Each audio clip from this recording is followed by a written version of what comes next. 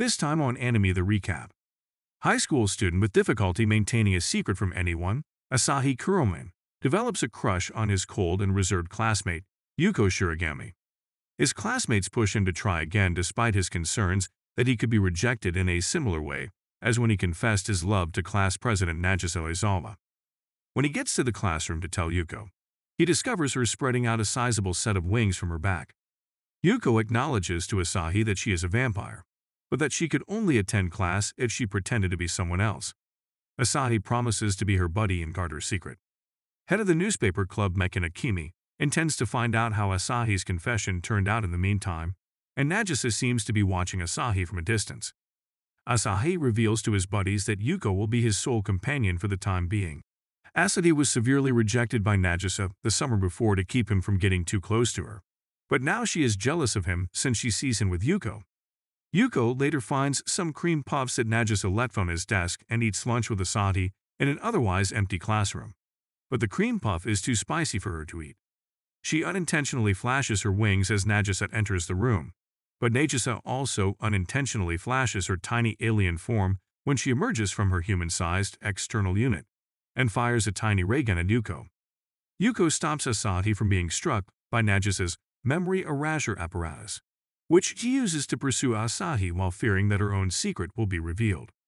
In the end, the three agree to keep their personal information private, and Mikan is shown removing a listening device from an unfinished cream puff.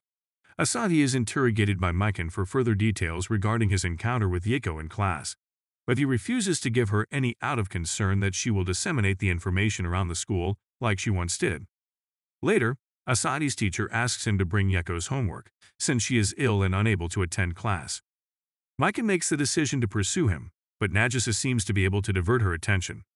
Asahi decides to drop by Yeko's student apartment for a quick visit, but she receives a call from Nagisa informing her that Mikan managed to elude her and flee to Yeko's home. After being accidentally knocked out by Yeko's clutter from the closet, Mikan decides to Photoshop a passionate exchange between Asahi and Yuko and threatens to display it in front of the entire school. On the rooftop, Asahi confronts Mikan and begs her not to do it. Her pleading only makes her more determined, so Asahi chooses the other course of action and allows her to hang the photos, which saps her willpower because she didn't want him to be happy. After school, a spirit inhabiting Mikan's glasses believes that she is secretly in love with Asahi. But Mikan vehemently refutes this while twirling her own pair of glasses. Nagisa begs Asahi for assistance because her external unit's battery ran out before it could recharge, forcing her to approach him in her Lilliputian form. With Yeko's assistance, Asahi sneaks into the girl's restroom and brings Nagisa's body down to the nurse's office. Asahi tries to pass Nagisa off as a lifelike figure, but Mikan discovers the tiny form of the actual Nagisa as they are leaving. Asahi is forced to snatch Nagisa back and hide from his buddies, because this just thrills Mikan and Shimada, who arrives later, while Nagisa struggles to maintain a doll-like poise. After hiding out in a gym storage building, Nagisa grows inexplicably to human size and feels ashamed to show Asahi her antenna as Mikan, Shimada, and Yuko pursue them. Asahi makes the decision to have the human-sized Nagisa punch him out of the shed while making his getaway while acting furious. Nagisa is magically transformed back to her natural size by a mystifying horned woman, and Asahi and Yuko later settle their disagreement.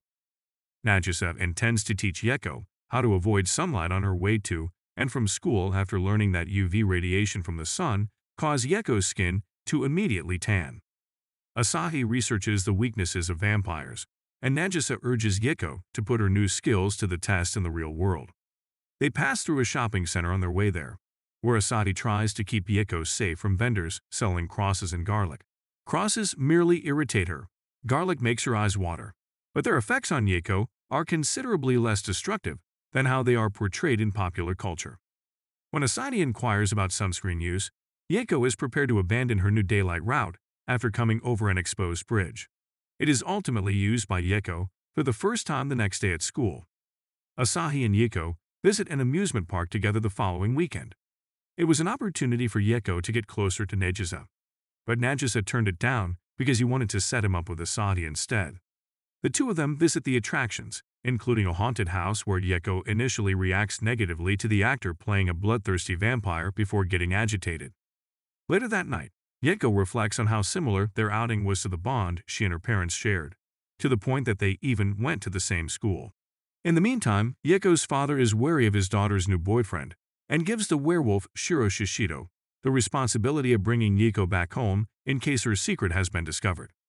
Asahi and Yeko come across a terrifying wolfman with teeth on their way home from the theme park. Yeko recognizes him as Shiro, a friend from childhood, yet he still threatens Asahi. When Shiro notices the moon in the night sky, he eventually turns into Shio, a seductive woman. Shio says that she is the dominant personality in the body she shares with Shiro when the three of them go to Yeko's house. When Yeko learns that Shio is making fun of Asahi, she becomes envious. Shio then discloses that the wolfman can transform at any image of the moon, including one that Yeko had shown her. Shio is holding Asahi down when Nagisa arrives to Yeko's house to deliver a cake she baked herself as a peace offering. Nagisa then departs.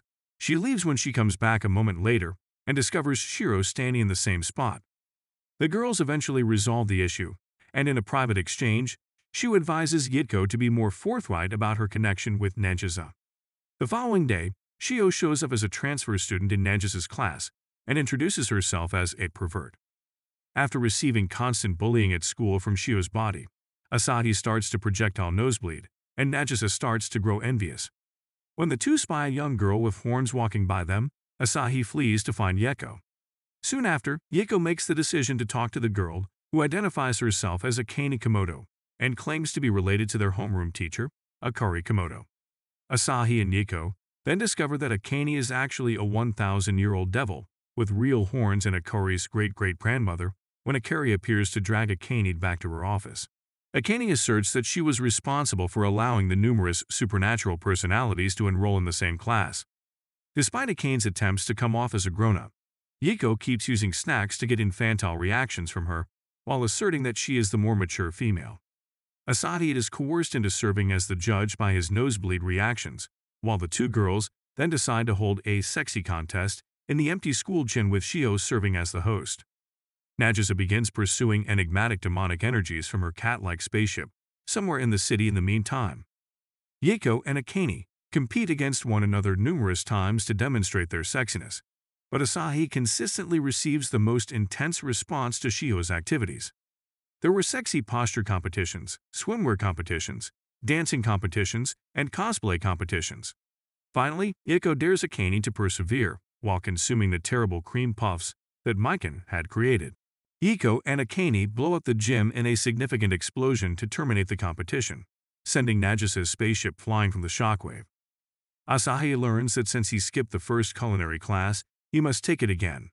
He is thrilled to learn that Yeko, Nagisa, and Shio will be cooking curry with him, but quickly learns that all three of the girls struggle with it. Akane follows Nagisa's instructions and unintentionally throws a chocolate cake out a window, where Akane uses her horn to grab it. She takes a bite and immediately falls in love with it. Akane escapes until Akari emerges to drag her back to the home economics classroom. Mikan decides to buy refreshments for Akane in the hopes of interviewing her. The two women are horrified to learn that Yiko and Nagisa overdid it and accidentally added something to the curry that makes it emit deadly gas. Later that evening, Akane attacks Akari's apartment, destroying a wall, and demands that she summon Nagisa to prepare more chocolate for her. When Akari declines, Akane replies by magically guiding an asteroid in the direction of Earth, endangering the planet. When Akari notices that the asteroid deviates from its course when Akane loses focus, she binds her to its share and forces, feeds her chocolates prepared by everyone but Nagisa. Yiko, Shio, and Nagisa rejoin to make chocolate in the same room. Akane tries to replicate herself to get to Nagisa's chocolate, but the other girls are able to beat them off until Akane loses concentration enough for Nagisa's spaceship allies to cause the asteroid to turn around, sparing Earth from disaster. Asahi summons the courage to invite Yoko to the pool now that summer has arrived. The issue is that Yoko doesn't know how to swim and believes Asahi is asking so they can both practice. To Asahi's dismay, Yoko invites Nagisa and Shio to go along with them, and the three friends of Asahi also go. With Nagisa serving as her assistant, Shio instructs the class in swimming, but her lewd directives throw Shimada into serious difficulty. Nagisa knocks her out with her subsequent lectures, taking over as instructor, naturally in a militaristic fashion. but her instruction style nearly drowns both Yoko and Asahi. Then Mikan appears with her two young brothers, and without her camera for once, and exhibits sympathy for Asahi for the first time. Asahi and Yoko split up from the group after the pool shuts, and everyone has left for home, meeting later that night at the school. It turns out that Yoko wants to continue her swimming lessons at the school pool. After some more practice, Yoko talks to Asahi about how her parents learned to swim and how her life has improved since she met him. However, when they start using their first names to greet one another, under Akane's covered observation, things get awkward. Asahi and Yoko are invited to join them at a buffet restaurant by Okada, Sakurada, and Shimada, but Yoko declines out of concern that she could spill her secret. However, Asahi persuades her, and things appear to be going well until Mikan, a waitress who works at the restaurant, shows up with her most recent batch of Russian cream puffs for Yoko to try. Despite the constant threat of Yoko being exposed, such as the bats hovering outside or the appearance of her wings, things are still in danger. Shimada, who is unaware of the deadly consequences of Mikan's pastry, joins Asahi in trying to eat them all in order to protect Yoko, with the predictable outcome. The following day at school, Mikan is inconsolable because she misplaced her heathen queen spectacles, Asahi, Yoko, and Nagisa help her look for them. When it comes out that Akane stole them, a major pursuit across the school ensues, culminating with Akane using her magic to make copies of herself wearing the same glasses. However, Akari ends the chase, returns the glasses, and hauls Akane off to be punished. Nagisa discovers the truth about the glasses later by the river, that they are inhabited by a Fukuno-kami, a god of good luck, in this case, a god in training and that the Fukuno-kami chose to live in the glasses because they were filled with positive memories of Mikan's childhood and her true feelings for Asahi. Mikan constantly tries to throw the glasses away rather than confront her genuine emotions, but Nagisa stops her and challenges her to face Asahi without them. The glasses warn Mikan that Asahi and Yoko will join them soon if she doesn't confess her feelings to him.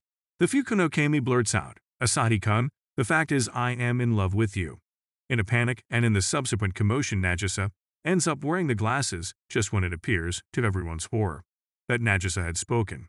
Yuko, Shimada, Oka, and Sakura, respectively, invited Asahi and Nagisa to the summer festival, but she fooled them into enjoying an amazing time alone together. Asahi and Nagisa are followed by Yuko and Shio as they observe their interactions. In an effort to ease the awkwardness, Asahi encourages Nagisa to participate in the shooting game. While seeing the two of them play, Yuko gets agitated and forgets where they went. Mikan then appears shortly after with her two little brothers and aids the two of them in their search for Asahi and Nagisa. Nagisa trips and falls onto Asahi shortly after they discover the two of them, at which point she realizes how much she loves him. Yuko had avoided Asahi since the incident at the summer festival, not knowing how she truly felt about it. Yuko often gets in the way of Asahi's attempts to work with her on projects, Shio discusses with Yuko the importance of being more open about her own emotions. Asahi also seeks counsel from Sakura, Shimada, and Oka on how to approach Yuko once more. In the hallway, Nagisa considers her own emotions and decides that she needs to apologize to them in person. As she ascends the stairs, Akane declares that she has heard Nagisa's inner voice, which states that she would prefer to remove Yuko from the situation in order to be with Asahi instead. Nagisa disputes the assertion, but Akane insists, and Akari eventually shows up and brings Nagisa back into the principal's office. Akane left behind a picture she had shot at the summer festival. Nagisa examines the picture on the stairway and decides to retain it for her own use solely. She tries to hide the picture from Asahi and his pals when they discover her a short while later as they descend the stairway. Mikan shows up as well. She ascends the stairs and wonders what the noise is all about. When Mikan notices Nagisa standing back up, she is suspicious and tries to capture the image the other is hiding. Nagisa unintentionally drops the photo as she pushes the two of them against the wall, and it coincidentally lands in Asahi's hands. In a fit of rage, Nagisa rams ice cream into Asahi's eyes and returns the photo. Everyone saw Nagisa devour the photo in front of them to destroy the proof. Asadi, who is blind, leans his arms up against the wall to prevent Nagisa from entering. When passerby Yuko notices this, he takes off running. She starts to reflect on everything that has transpired over the last few days, including what Shio stated while she is at home in the bathtub. At home, Asahi has a nightmare that he and Yuko are no longer friends. Asahi locates Yuko the following morning, and she tells her to meet her that evening on the rooftop. On the rooftop, Asahi decides he was going to confess to her. Nagisa heard their chat and is unsure about what she should do. Asahi's previous love confessions are all explained by Mikan, who was also seen watching, and how his relationship with Yuko was his sole true love. Asahi was moving towards the rooftop when Nagisa realized what she needed to do and stopped him. Asahi, who was always being pursued, fled for his life as Nagisa attempted to put him to sleep using a sleep-inducing device. Asahi reached his breaking point and scaled a stack of desks and chairs to reach the roof. He arrived to find Yuko being dragged away by a mysterious bat who turned out to be her father. The pursuit of Yuko by Asahi, Akari, Nagisa, Shio, and Akane is impeded by Akari's hesitation to go over the speed limit and risk ruining her new automobile. When Akane uses her skills to seize control of the car after knocking out Akari, the vehicle is destroyed. Yuko's father Ginger confronts Asahi, Nagisa, and Shio when they break into the mansion. When Asahi urges him to give Yuko back, he is questioned about their relationship. The group tries to help Yuko escape when she arrives, but discovers that her father is taking her home since her mother is ill. She had asked Asahi to come to the rooftop so that she could inform him that she was going home for a while. After learning that Asahi is aware of Yuko's secret, Ginger pursues them, but Asahi manages to make him trip over a banana peel. Yuko and Asahi discuss what happened at the school festival while hiding in Yuko's room. Ginger tries to eject Asahi from Yuko's room, but Yuko's mother Tio shows up and startles him, causing him to flee. As Yuko and Asahi approach Ginger to speak with him, Nagisa reveals herself to them as an outsider. In exchange for Ginger's vow to permit Yuko to continue her studies, Asahi offers to have his memory of Yuko's secret erased. In exchange for Asahi erasing all of Ginger's memories of Yuko, Ginger agrees.